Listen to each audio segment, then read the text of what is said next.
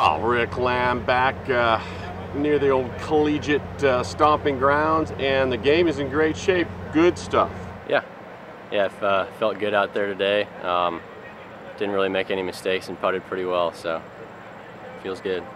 Uh, you got a lot of people following you around, kind of rooting for you, huh? Yeah, yeah. I guess I'm somewhat of a local boy. I went to school around here, so um, got some of my teammates and some of my friends that still are still living in town, so they came out and watched. Well, it's been nice seeing the way your game has trended actually since uh, since LECOM.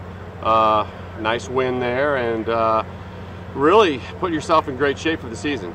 Yeah, um, I think I've played pretty well since that win. I've, I've started off a couple tournaments really well on Thursday and Friday and just wasn't really able to finish it off on the weekend. So it's nice to get a good round in on the weekend uh, here. And obviously, with the, the weather tomorrow, we don't really know what's going to happen. Hopefully, we can get it in. Um, but put myself in a good position for tomorrow.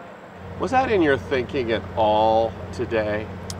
Not really. I just kind of stick to the game plan, um, try to play smart and make some putts here and there. I mean, this is a course where you got to hit some good tee shots, and if you do, it sets you up to make a lot of birdies. So that was sort of the game plan for the week, and just tried to stick to that.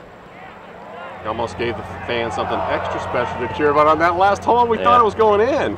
Yeah, yeah, I thought I made it actually from the fairway. It was, it was looking really good. Um, uh, but yeah, it was a nice way to end it, a little tapping in birdie. Well, Rick, great stuff. Hope you get to play tomorrow and get a shot at putting this thing in the house. Yeah, thank you.